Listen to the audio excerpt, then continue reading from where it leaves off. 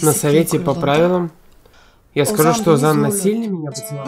Да, именно это ты и скажешь. Мама, что ты такое говоришь? Ты просишь меня соврать? Доченька, разве он не поцеловал тебя без твоего разрешения? Разве не он все это сделал, а? Да, но... Ну вот, нет никакого вранья.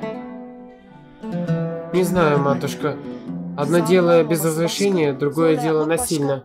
Доченька, в то время как ты этого не хотела, Озам поцеловал тебя или нет? Дело в этом, а я ответила ему взаимностью. Возможно, он сделал первый шаг.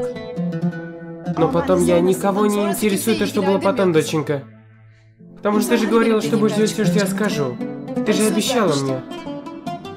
Из-за того, о чем ты сейчас рассказываешь мне, Узана ведь отчислит из вуза. Ты ведь понимаешь это? С Узаном ничего не случится, доченька. У него семья богатая. Не пройдет и недели, он пойдет в более хороший вуз. Мама, это несправедливо. Прошу, не требуй от меня такого. Я не смогу это сделать. Это единственный шанс для того, чтобы ты могла продолжить обучение в ВУЗе.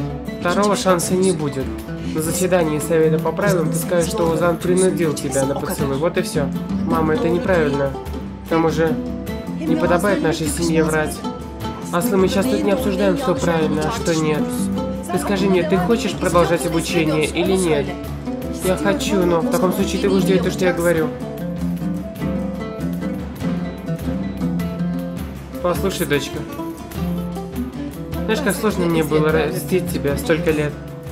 Я днями и ночами работала, чтобы ты могла пойти в школу. Нужно будет, я еще раз так сделаю.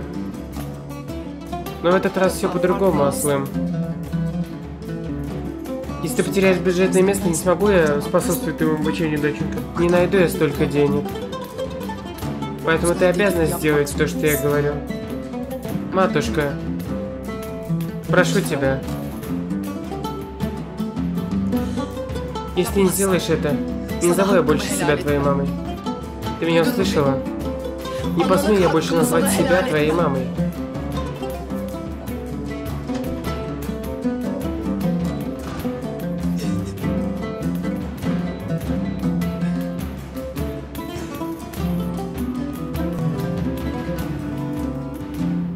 Почему ты такой грустный?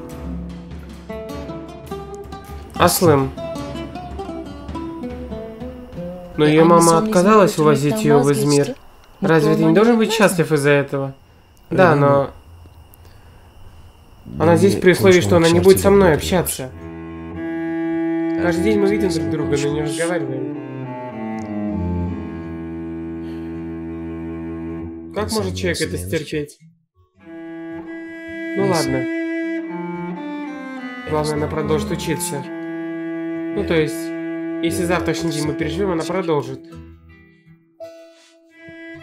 Ты взрослеешь, сынок.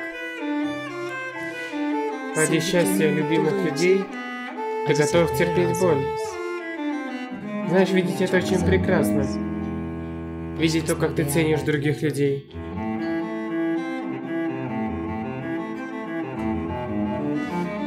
Невозможно, чтобы мама не заметила это, знаешь?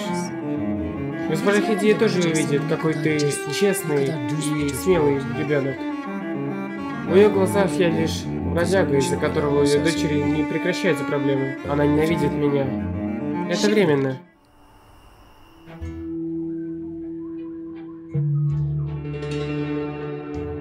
Тебя что-то другое тревожит. Завтрашнее заседание. Озан, из-за того, что вы поцеловались, не станут вас отчислять из вуза. Максимум предупреждения сделают. Из-за чего ты так переживаешь? Я боюсь, что в Совете по правилам решат лишить Аслым бюджетного места. В этом случае она ничего не сможет сделать. Им сил не хватит учиться там. Такого не случится, Озан, не неси чушь. Завтра вы спокойно садитесь на заседание, и эта тема будет закрыта. И по поводу Хидии ты тоже не переживай. Она честная женщина.